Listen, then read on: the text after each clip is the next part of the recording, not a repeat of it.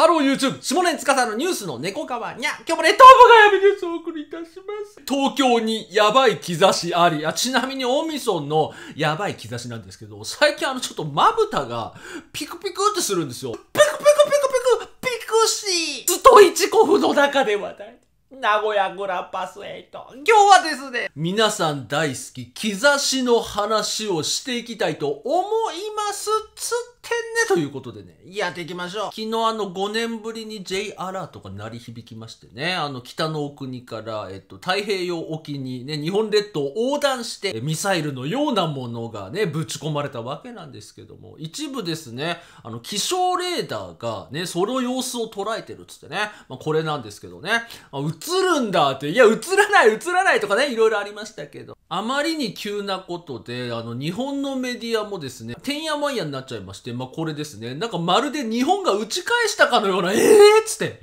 迎撃能力持ってたん？生きとったんかいわ、あれ？ってことなんですけれど、ミサイル実は飛んでない説っていうのはあるんですけれども、まあ、今日はそれは一旦置いときまして、実はこのね、ミサイルが発射される前後に、ちょっと変なことがあったぜって話と、このミサイルの話がくっついてくるという話をしていきたいんですけど、アメリカの副大統領の紫色の人、安倍ちゃんの国葬に来たついでに、えっと、と K-POP の国にも訪問しまして、かの国の大統領と会ってたんですよね。あの、軍事境界線のパンムンジョンってところで演説を行いまして、あの、両国の同盟についてね、熱く語ってたんですよ。でもその時にですね、本来 K-POP っていうところを北朝鮮との同盟を強固なものにするって言って、まあ、これが言い間違いだよっつって、てはてはってなってたんですけど、で、これ実は言い間違いでも何でもないんじゃないかって闇の者たちが騒いでるわけですよ。って言いますのも、以前から北朝鮮という国は、旧日本陸軍が建国した説というものがあるのです。畑中治さんっていう旧陸軍中野学校の将校がいるんですけど、彼がですね、第二次世界大戦終了前夜にかの国に潜伏しまして、そしてですね、キム・イルソンと呼ばれる者と共にかの国を建国したと。実はかの国の建国理念には旧日本陸軍が関わってるっていう話話なんですよ。そう考えると全体主義的なかの国の、え政治状況であるとか、それから軍事的な高いテクノロジー。これもですね、旧日本陸軍の血脈であるとすれば全て納得いくと。そして、もう一つすごい恐ろしいことに、まあ、キム・イルソンさんのお子さんがキム・ジョンイルさんですけれども、ジョンイルさんの父親が畑中治説というのがあるんですよ。キム・イルソンさんが外国に外遊に出た際に、その奥様と点々点という話。ということになると、実は現在一番偉いと言われているお兄ちゃん、彼も日本人の血を継いでいるということになるわけですよ。日本国内でね、多くの方が行方不明になっており、ね、その中には北に連れて行かれた方もいらっしゃるっていうあの話。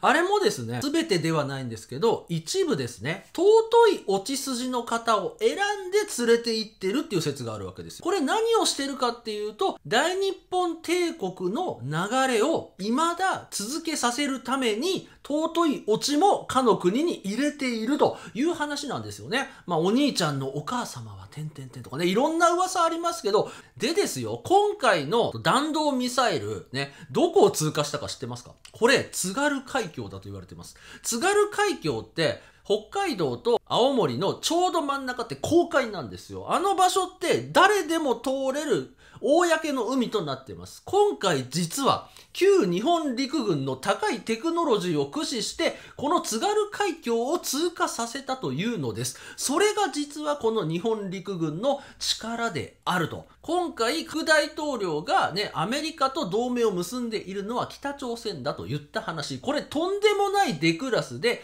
実はあちら側だと思われていたこの副大統領も真実を話し始めたと。ちなみにそんな重大なことをデクラスしたね、紫の人、ただで済むわけないじゃないですかね。実は、この副大統領が乗った車がトンネルで点々点つってこれであるっつって、えーっつって、え、これ、カマラだけにお釜を掘られたのでは？お後がよろしいようで。無理無理無理無理無理無理。何を終わらせようとして？る無理無理。よろしくなかった今。あ、そうですか。すいません。じゃあ、続けます。反省してます。これ、梅之助師匠のえ包囲網がついにでき始めたってことなんですよ。実は今回の言い間違いは全てこれが絡んでると。その結果の J アラートであると。なので、あれはですね、ロとえパンダちゃんの代理射撃である説であるとか、それから世界中の武器商人に対する PR 広告である説とか、いろいろありますけど、私はこの、かの国と旧日本陸軍との真実のデクラス、これの開始の祝報であると、私はこうね、唱えたいと思います。アメリカ合衆国が今世界の軍事的な緊張度合いを示す地図を出したわけですよ。これなんですよ。これ色分けされてて赤が一番緊張度が高い。戒厳令に近い状態であるということなんですけど、これなんとですね、日本国が真っ赤になっているわけです。実は今日本国は、えー大変な状況にある最中であり、これがアメリカ米軍の認識であるっていうことなんですよ。それは東アジアの緊緊張感なども含めつつ、実は、え国内でお掃除が行われていると。東京で一番有名なタワー、東京タワーとスカイツリーありますけど、つい最近、すごい不思議なことがありました。あの、よくいろんなイベントでライトアップしてるんですけど、つい昨日ですね、この真ん中だけが明るくなっていた。これが何かの合図なんじゃないのかって言われてるわけですよ。この点灯が全てついた時、お掃除が完了すると。ちょうどこの J アラートが鳴り響いたタイミングでこのライトアップがされたというふうに言われていて、これ全部繋がってるんじゃないかって話です。まあ、闇のお掃除といえばね、こうメディアですよね。日々ですね、ハビコリちゃんの数を指折り数えて眠れなくなってるあいつらなんですけどね、彼らが放送をやめたら平和になるって言われてますけどね、まあ、そんな中ですよね、みんな大好き。楽しくなければテレビじゃないでおなじみね、富士テレビジョンさんが、ついに破綻するというとんでもない情報が入ってきたんで、ちょっと検証していきたいんですけどね、あの、これですって。ね、一応トヨタさんが、月9から撤退すると CM のスポンサーを。で、フジテレビって言ったら、月9じゃないですか。バブル期の OL みたいな思考やめてもらっていいですかってことなんですけどね、ここから撤退するって言って。で、この記事が、見てください、これ。てれれれ、2016年。お前、いつの話してんねん、これってことうるせえっつって。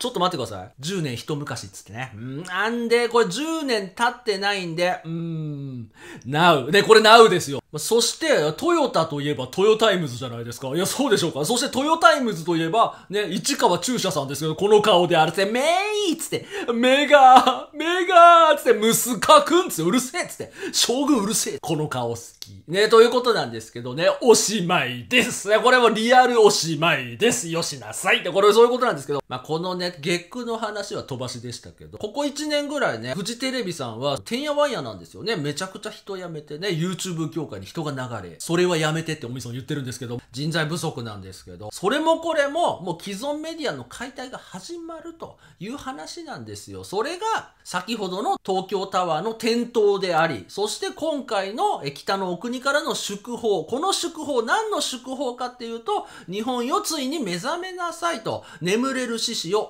起きなさいと、それが言いたいってことなんですよね、つって、ああ、ちょっと、ちょっとワクワクしてきたな、俺。ちょっとすいません、興奮してきたんで、氷川きよし呼んできてもらっていいですか？これで。すって、メイ！つって、メガーメガ息子くん！つって、うるせえ！つって、将軍2回目出てくんだ。いや、すいません、ちょっとな、七を、七を呼んできてもらっていいですか？まあ、これで。すって、あれ？みたいな。え？え、七尾ってこんな、ん？え？いや、ごめん。オミソンは池田エライザ派ちゃんなんで、ごめん。ねごめんってことでね、ごめんということでね、ちょっと落ち着きましたね。まあ今回、いろんな兆し見てきましたけど、あなたの好きな兆しはどれでしたか？え、好きとかはダメよ、それは。うわ、私の年収低すぎの顔。いや、なんちゅう顔してんねん、これいけるいける私の年収低すぎこれよ、ようちょんちゃん。これが本家。いや、本家ではない。本家ではないんだけど、皆さんネットでね、この広告よく見ると思うんですけど、最近広告よりオミソンの方がやってませんかってことなんですよ。アイデムさん、電話待ってます。てー思った。今日も一日お疲れ様でした。良い夜お過ごしください。諸悪の根源は私って話なんですけど、あの、私先日ね、お昼2時ぐらいにね、あの、コンビニに買い物に行きまして、あの、帰ってきてたんですよ。そしたら道端にしゃがみ込んでる男性がいまして、まあ、年齢は僕と一緒ぐらいですね。なんかこう、ちょっと長髪の男性だったんですよ。でも僕ちょっと思ったわけですよ。いや、いい大人が、ね、いい大人が、ね、しょうもない髪型して、真っ昼間から何してんねんつって、あーつって。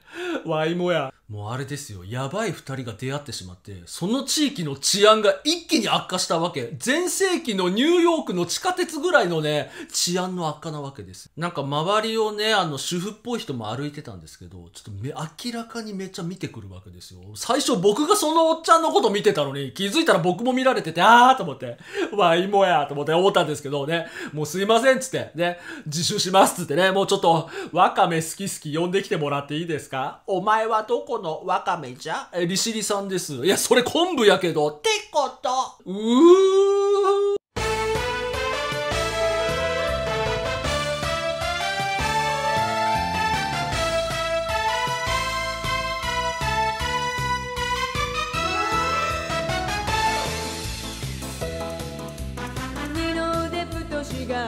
リルリープにツカヤもアブガリル人妻の手料